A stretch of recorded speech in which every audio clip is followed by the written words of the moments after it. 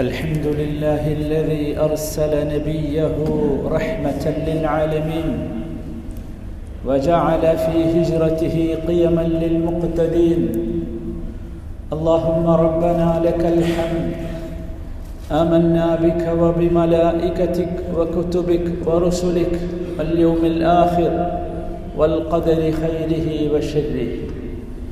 ونشهد أن لا إله إلا أنت رضينا بك ربا وبالإسلام دينا ونشهد أن سيدنا محمدا عبدك ونبيك فاللهم صل وسلم وبارك عليه وعلى آله وصحبه والتابعين.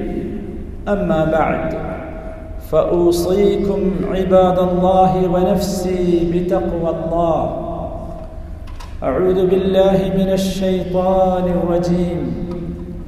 يا أيها الذين آمنوا اتقوا الله وقولوا قولا سديدا.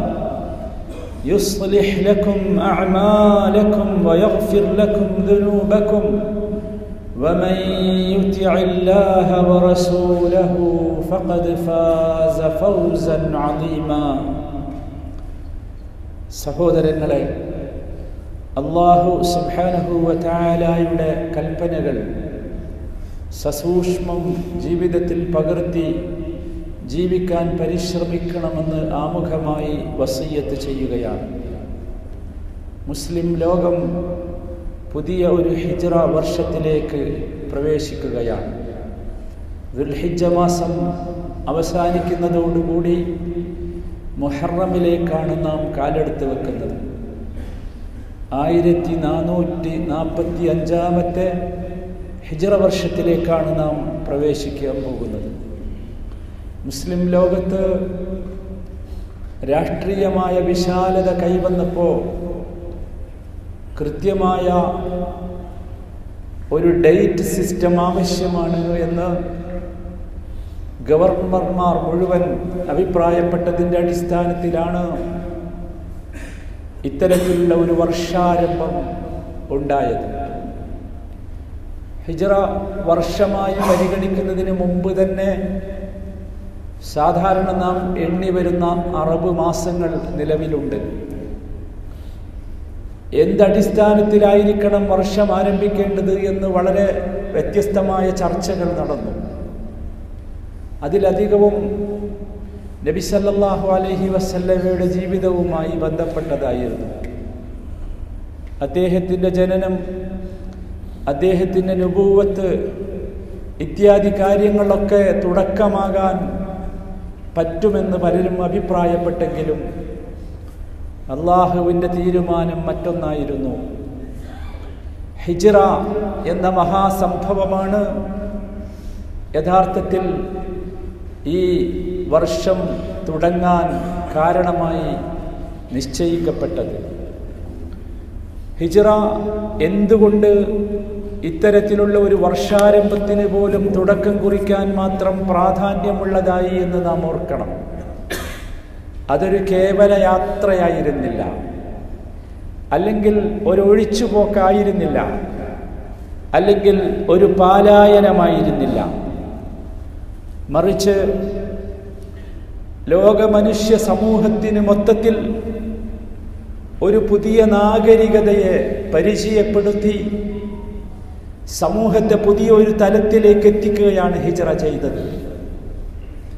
പലപ്പോഴും ഹിജറയുടെ ചരിത്രത്തിൽ നബിയുടെയും സഹാബാക്കളുടെയും ത്യാഗങ്ങളെക്കുറിച്ച് മാത്രമാണ് നാം കേൾക്കാറുള്ളത്. പക്ഷെ എന്തുകൊണ്ട് അള്ളാഹു സുബാനഹുവറ്റാല ഇത്തരത്തിലുള്ള ഒരു യാത്ര ഒരുക്കി എന്നത് അത്ഭുതകരമായ കാര്യമാണ്. മക്കയിൽ തന്നെ അള്ളാഹുവിന് വേണമെങ്കിൽ റസൂലിന് സൗകര്യങ്ങൾ ഒരുക്കാമായിരുന്നുവല്ലോ. അത് എളുപ്പമാണല്ലോ. പക്ഷെ അതിനപ്പുറമുള്ള ഒരു വലിയ കാര്യം ഇതിന്റെ പിന്നിലുണ്ട്. ഇസ്ലാമിക നാഗരികത ഒരു പ്രത്യേകമായ ഉൽപ്പന്നമാണ്. അടിസ്ഥാനപരമായി രണ്ട് യോഗ്യതകൾ ആ നാഗരികതക്കുണ്ട്. ലോകത്തുള്ള ഒരു നാഗരികതക്കും ദർശിക്കാൻ പറ്റാത്ത യോഗ്യത. അതിലൊന്നാമത്തേത് മബാദി ഉൻ ഇൻസാനിയയാണ്. മനുഷ്യത്വ മനുഷ്യത്വത്വത്തിന്റെ മനുഷ്യത്വത്തിന്റെ മുഴുവൻ മൂല്യങ്ങളും അത് ഉൾക്കൊള്ളുന്നു എന്നതാണ്. ഇസ്ലാമിക സംസ്കാരത്തിൽ എന്തെങ്കിലും ഒന്ന് മനുഷ്യത്വത്തിനെതിരാണെന്ന് പറയാൻ ആർക്കും സാധ്യമല്ല. രണ്ടാമത്തേത് ഈമാനിക മൂല്യമുള്ളതാണ് ഇസ്ലാമിക നാഗരികത എന്നതാണ്. അതിന്റെ മൂല്യം വാല്യൂ ഈമാനിക മൂല്യമാണ്. ഈ രണ്ട് കാര്യങ്ങൾ യഥാർത്ഥത്തിൽ ഈ രണ്ട് കാര്യങ്ങളിൽ ഊന്നി നിന്നുകൊണ്ടാണ് ഇസ്ലാമിക് സിവിലൈസേഷൻ ലോകത്ത് അത്ഭുതങ്ങൾ സൃഷ്ടിച്ചത്. അതിന്റെ തുടക്കമായിരുന്നു യഥാർത്ഥത്തിൽ ഹിജറ എന്ന് പറയുന്നത്. നോക്കൂ ഹിജറയുടെ ചരിത്രം പരിശോധിച്ചാൽ അത്യത്ഭുതകരമായ ചില മൂല്യങ്ങൾ മനുഷ്യ നാഗരികതയ്ക്ക് ഹിജറ പഠിപ്പിച്ചു എന്ന് കാണാൻ സാധിക്കും. അതിലൊന്നാമത്തേത് അമാനത്താണ് വിശ്വസ്തത. ഇസ്ലാമിന്റെ അടിസ്ഥാനമാണ് അമാനത്ത് എന്നത് വിശ്വസ്തത എന്നത്. എങ്ങനെയാണ് അത് പഠിപ്പിച്ചത്? മുഹമ്മദ് നബി സല്ലല്ലാഹു അലൈഹി വസല്ലമ താൻ ചരിച്ച ജന്മനാട്ടിൽ നിന്ന് ബഹിഷ്കൃതനാവുകയാണ്. ബഹിഷ്കൃതന ബഹിഷ്കൃതനാകുന്ന ആ ഘട്ടത്തിൽ പോലും തിരുമേനിയുടെ അടുത്ത് ഒരുപാട് അമാനത്ത് സ്വത്തുണ്ട്. അമാനത്ത് സ്വത്ത്. നബി സല്ലാ അലൈഹി സ്വലമയിൽ വിശ്വസിക്കാത്തവർ പോലും വിശ്വസ്തനായി ധരിച്ചിരുന്നത് നബി തിരുമേനിയെ ആയിരുന്നു സല്ലാഹു അലൈഹി വസ്ലം അതുകൊണ്ട് തന്നെ ഒത്തിരി അമാനത്ത് സ്വത്തുക്കൾ അദ്ദേഹത്തിന്റെ കയ്യിലുണ്ട്. ആരെയും അറിയിക്കാതെ വേണം ഹിജറ യാത്ര. പക്ഷേ നബി സല്ലല്ലാഹു അലൈഹി വസല്ലമ ചെയ്തത് തന്നെ വിശ്വസിച്ചേൽപ്പിച്ച മുഴുവൻ സ്വത്തും തിരിച്ചേൽപ്പിക്കുക എന്ന ഉത്തമമായ മാതൃകയായിരുന്നു. അമാനത്തിന്റെ ഉന്നതമായ മാതൃക. വേണമെങ്കിൽ തിരുമേനിക്ക് പോകാമായിരുന്നു. ആരും കുറ്റം പറയൂല. കാരണം നബി തിരുമേനിയെ സമൂഹം ബഹിഷ്കരിച്ചതാണ്. നബി സല്ലാ അലൈഹി സ്വലമക്ക് തിരിച്ചേൽപ്പിക്കാൻ സാധിക്കാത്തവ. അലി താലിബ് ഏൽപ്പിച്ചു തിരിച്ചേൽപ്പിക്കാൻ. ഇസ്ലാമിക ഹിജ്റ നൽകുന്ന ഒന്നാമത്തെ മൂല്യം അമാനത്താണ്. രണ്ടാമത്തേത് ഞാൻ പറഞ്ഞുവല്ലോ മനുഷ്യത്വത്തിന് മാത്രമല്ല മനുഷ്യനെ സ്വാംശീകരിക്കുന്ന വൃത്തിയാക്കുന്ന ഈമാനിനും ഇസ്ലാമിക നാഗരികത ഒരുപാട് സംഭാവനകൾ നൽകി. അതുകൊണ്ട് തന്നെ രണ്ടാമത്തേത് യക്കീനും ഹുസ്നുൽ വന്നുമാണ്.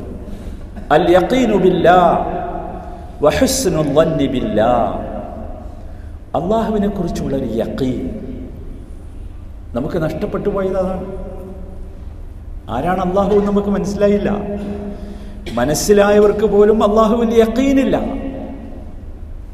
അള്ളാഹുവിൽ യക്കീനില്ല പലതിലും നമുക്ക് യക്കീനുണ്ട് നമ്മുടെ ജോലിയിൽ യക്കീനുണ്ട് പണത്തിൽ യക്കീനുണ്ട് കുടുംബത്തിൽ യക്കീനുണ്ട് മക്കളിൽ യക്കീനുണ്ട്. പക്ഷെ അള്ളാഹുവിൽ യക്കീനില്ല. വല്ലാത്തൊരു ദുരവസ്ഥയാണ്. അതുപോലെ രണ്ടാമത്തേത് ഹുസ്നുല്ല അള്ളാഹുവിനെ കുറിച്ചുള്ള ഒരു സൽധാരണ. അള്ളാഹുവിനെ ഒഴിവാക്കുകയില്ല. ഞാൻ മുഗ്മിനാണെങ്കിൽ അള്ളാഹു എന്റെ കൂടെ ഉണ്ടാകും എന്ന ഒരു ചിന്ത. ഇത് രണ്ടും നമുക്ക് നഷ്ടപ്പെട്ടു പോയി. ഇതാണ് ഇസ്ലാം നൽകിയ ഹിജറ നൽകിയ രണ്ടാമത്തെ മൂല്യം. അത് നമുക്ക് ശരിക്കും കാണാൻ കഴിയും. അത് നഷ്ടപ്പെട്ടതിന്റെ വല്ലാത്ത ഒരു പ്രതിസന്ധിയിലാണ് ഇന്ന് മുസ്ലിം ഉമ്മത്ത് വിശേഷിച്ചും ന്യൂനപക്ഷ മുസ്ലിങ്ങൾ ജീവിക്കുന്ന രാജ്യങ്ങളൊക്കെ. അവിടുത്തെ ഭരണാധികാരികളുടെ ഭീകരതകളെക്കുറിച്ചാണ് മുസ്ലിങ്ങൾ പോലും സംസാരിക്കുന്നത്. ഭരണകൂട ഭീകരതയെക്കുറിച്ച് പറഞ്ഞ് പരസ്പരം പേടിപ്പിക്കുകയാണ് മുസ്ലിം സമൂഹം. എന്തുകൊണ്ടാണ് റബ്ബിനെ കുറിച്ച് പറഞ്ഞ് റബ്ബിനിൽ ഉണ്ടാകേണ്ട ഈമാനിനെ കുറിച്ച് പറഞ്ഞ് യക്കീനിലേക്കെത്താൻ നമുക്ക് സാധിക്കാതെ പോകുന്നത്.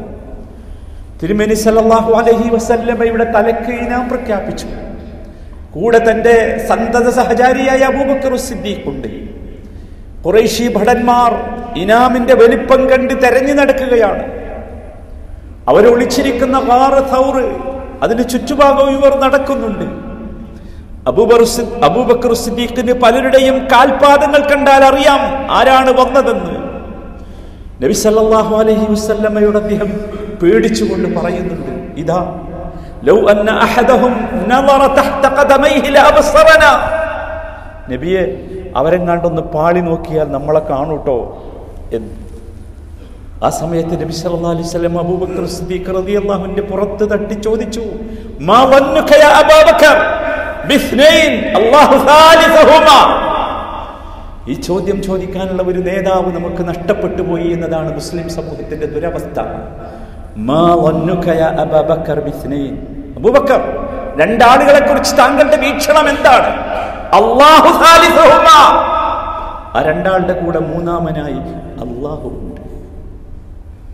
നമ്മളോട് ആരും പറഞ്ഞിരുന്നില്ല അല്ലേ? ആരും ചോദിച്ചില്ല.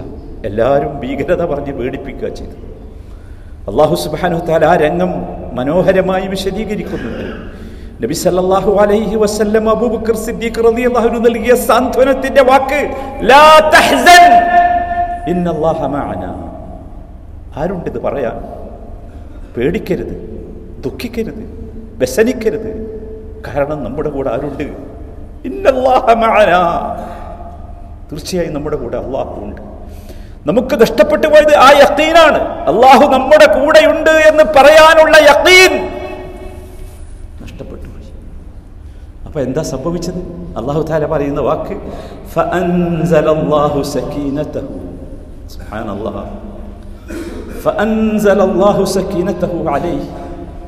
ആ ഒരു വിശ്വാസത്തിന്റെ കാഠിന്യം മുഖേന അള്ളാഹു അള്ളാഹുവിന്റെ സമാധാനം അവർക്ക് ഇറക്കി സക്കീനതഹു സമാധാനം അല്ല തരണം. വേറെ ആര് തന്നാലും സമാധാനമില്ല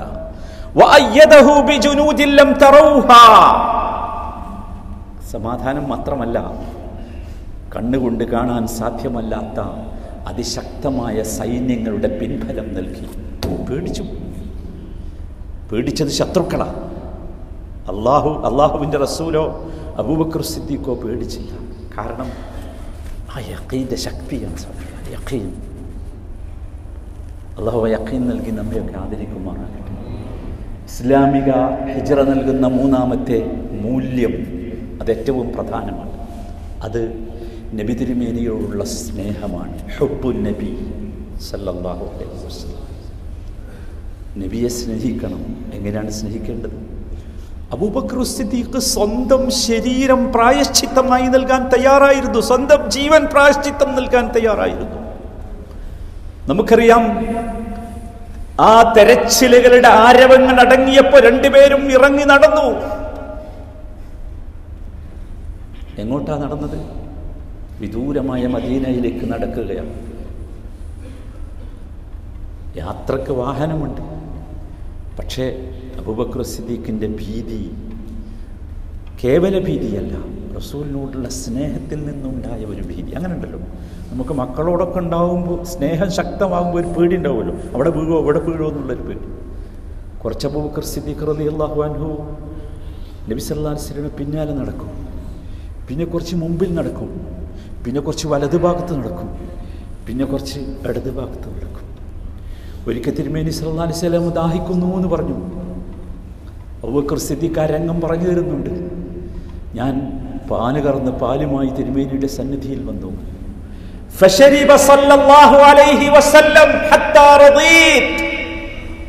നബി തിരുമേനി ആ പാലിങ്ങനെ കുടിച്ചു. എന്റെ കൈ കൊണ്ട് ഞാൻ കൊടുത്ത പാലിനെപ്പി നബി കുടിച്ചു. ഹത്താറീത് എനിക്ക് തൃപ്തിയാകുന്നത് വരെ. എനിക്ക് വല്ലാത്ത തൃപ്തിയായി. ഇതായിരുന്നു നബി സല്ലാ അലൈഹി സ്നേഹം. സഹോദരങ്ങളെ ഈ സ്നേഹം കേവലം വൈകാരികമല്ല. മറിച്ച് നമ്മുടെ ജീവിതവുമായി സ്നേഹത്തിന് ബന്ധമുണ്ടാകണം. തിരുമേനി സല്ലാ അലൈഹി വസല്ലമ ജീവിതത്തിൽ പഠിപ്പിച്ച ഏതെങ്കിലും ഒരു സുന്നത്ത് ഒരു മര്യാദ ഒരു ചര്യ ആ തിരുമേനിയോടുള്ള സ്നേഹത്തിന്റെ ഭാഗമായി ജീവിതത്തിൽ പകർത്താൻ സാധിക്കാത്ത കാലത്തോളം നബി സ്നേഹത്തിന്റെ സംസാരത്തിനോ പാട്ടിനോ ഒന്നും ഒരർത്ഥം ഉണ്ടാവില്ല. ഹിജ്റ നമ്മളെ പഠിപ്പിച്ച നാലാമത്തെ വാല്യൂ മൂല്യമെന്ന് പറയുന്നത് അസ്സലാം സമാധാനമാണ്. സമാധാനം. സമാധാനമുണ്ടാകാനുള്ള ഏറ്റവും ശക്തമായ ഫൗണ്ടേഷൻസുകളാണ് നബി സല്ലാ വസല്ലം ഹിജ്റയിലൂടെ ഇട്ടത്. നിങ്ങൾക്കറിയോ? തിരുമേനി സല്ലാ അലൈഹി സ്വലമ മദീനയിലെത്തിയ ശേഷം ആദ്യമായി സംസാരിച്ച സംസാരത്തിലെ വാചകം അഫ്ഷുസലാമ ബൈനക്കും. അഫ്ഷുസലാമ ബൈനക്കും. നിങ്ങൾക്കിടയിൽ നിങ്ങൾ സമാധാനം പ്രസരിപ്പിക്കണം. അത് കേവലം അസ്സലാമു അലൈക്കും എന്ന് പറയലാണ് നമ്മൾ വിചാരിച്ചു പോയി. അല്ല. അല്ല. ഒരാളുടെയെങ്കിലും ഉള്ളിലേക്ക് ഒരു സമാധാനം നൽകാൻ നമുക്ക് സാധിക്കണം. അന്നാണ് നാം മനുഷ്യരായി തീരുക അതാണ് ഇസ്ലാമിക് സിവിലൈസേഷന്റെ ഏറ്റവും വലിയ പ്രത്യേകത.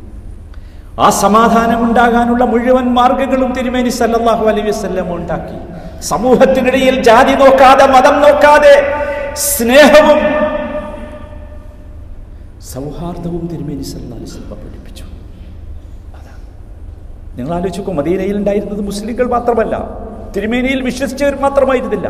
അവിടെ ജൂതന്മാരുണ്ടായിരുന്നു ക്രിസ്ത്യാനികൾ ഉണ്ടായിരുന്നു മുനാഫിക്കുകൾ ഉണ്ടായിരുന്നു എല്ലാവരുമായി തിരുമേനി സല്ലല്ലാഹു അലൈഹി വസല്ലമ ഇടപഴകി ജീവിച്ചു. ഇടപഴകി ജീവിച്ചു എന്ന് മാത്രമല്ല അത്യത്ഭുതകരമായ ഒരു സംഭവം നമ്മൾ ഓർക്കണം. നബി സല്ലല്ലാഹു അലൈഹി വസല്ലമ വസീഖത്തുൽ മദീന കോൺസ്റ്റിറ്റ്യൂഷൻ ഓഫ് മദീന എന്ന് പറഞ്ഞ ഒരു വലിയ കരാറുണ്ടാക്കി. ലോക ചരിത്രത്തിൽ ആ കരാറിന് തുല്യതയില്ല. അത്രമാത്രം ശക്തിയുള്ള കരാർ. നീണ്ട കരാറാണ് ആ കോൺസ്റ്റിറ്റ്യൂഷൻ വായിച്ചാൽ നമുക്ക് അത്ഭുതം തോന്നും. അതിൽ ഏറ്റവും വലിയൊരു വാചകമാണ്. നീതി എന്ന് പറഞ്ഞാൽ പുണ്യം എന്ന് പറഞ്ഞാൽ അത് പാപമില്ലാത്തതാകണം വല്ലാത്തൊരു വാചകമാണത്. ഒരുപാട് ആളുകൾ ഉദ്ധരിച്ചു ആ വാചകം അതിനുശേഷം ഇത്രമാത്രം സമാധാനം സമൂഹത്തിൽ ഉണ്ടാകണം എന്ന് തിരുമേനി സല്ലാലി അലൈഹി വസല്ലമ ആഗ്രഹിച്ചു. പരസ്പരമുള്ള നോക്കൂ ഏറ്റവും കൂടുതൽ മനുഷ്യർക്കിടയിൽ ഉണ്ടാകേണ്ട പരസ്പര സഹകരണവും ഐക്യദാർഢ്യവും നബി വസല്ലമ പ്രൊമോട്ട് ചെയ്തതുപോലെ ലോകത്താരും പ്രൊമോട്ട് ചെയ്തിട്ടില്ല. അത്രമാത്രം സോളിഡാരിറ്റിയും കോപ്പറേഷനും ഒക്കെ നബി തിരുമേനി ചെയ്തതുപോലെ ആർക്കും ചെയ്യാൻ സാധിച്ചില്ല. അതായിരുന്നു ഹിജ്റ നമ്മെ പഠിപ്പിച്ച മൂല്യം. ഈ മൂല്യങ്ങൾ ഉൾക്കൊണ്ടുകൊണ്ട് മുമ്പോട്ട് പോകാൻ നമ്മളൊക്കെ ശ്രമിക്കണം. അള്ളാഹുദിന് നമുക്കൊക്കെ തോഫിക്ക് നൽകുമാറാകട്ടെ.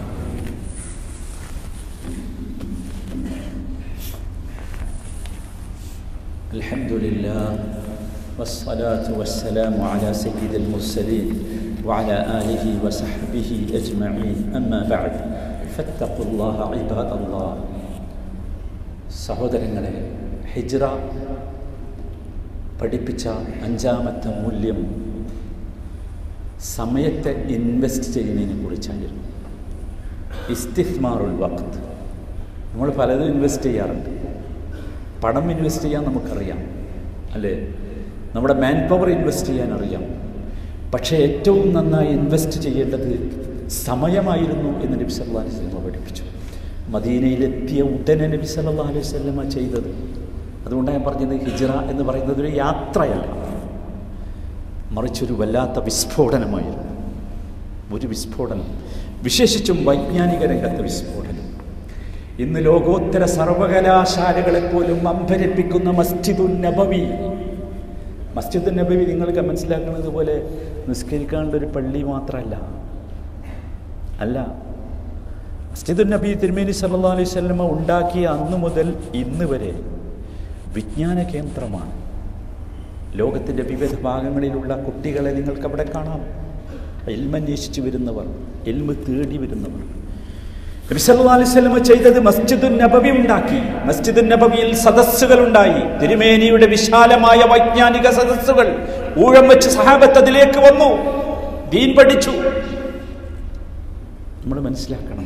സമയം നബി സല്ലല്ലാഹു അലൈഹി വസല്ലം അവിടെ പഠിപ്പിച്ച ഒരു പാഠമായിരുന്നു ഖംസ്.